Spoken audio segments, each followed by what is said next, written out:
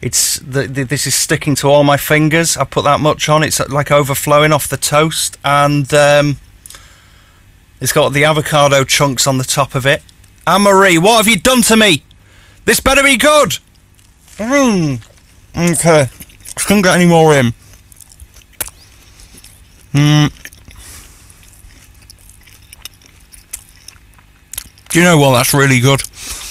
That is absolutely amazing. Um, uh,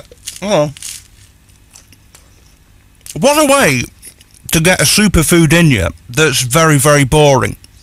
Just a load of chocolate spread on the toast.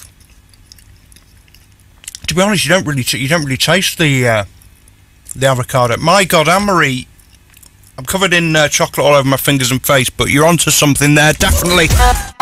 CFM.